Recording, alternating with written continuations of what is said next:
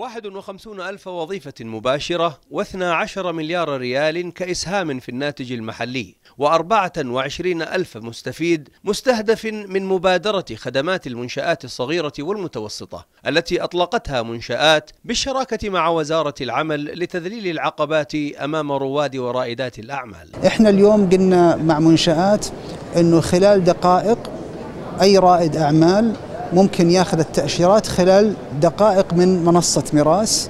المطلوب شيء واحد فقط إنه يسجل نفسه. يعني هذا رائد الأعمال إذا أو رائدة الأعمال إذا سجلت نفسها تلقائيا ياخذ تسع تأشيرات.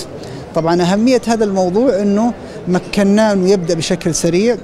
اختار الجنسيات اللي تناسب العمل اللي يأسسه سواء كان في مجال مثلا آه، تزيين النساء إذا كانت امرأة أو في مجال الخياطة أو في مجال الإعلام أو أيا كان العمل. وهذه البداية وبعدين يتوسع معنا لقاء عنوانه الشفافية جمع وزير التجارة والعمل والتعليم ورؤساء الهيئات المعنية التي تعمل ضمن منظومة واحدة مع بقية القطاعات الخدمية لتوفير كل التسهيلات التي قد تشكل حجر عثرة في طريق أصحاب تلك المنشآت. اليوم أطلقنا تسع مبادرات رئيسية بناء على احتياج السوق احتياج المنشآت الصغيرة والمتوسطة بالتعاون مع وزارة العمل وهدف وكذلك بنك التنمية الاجتماعية.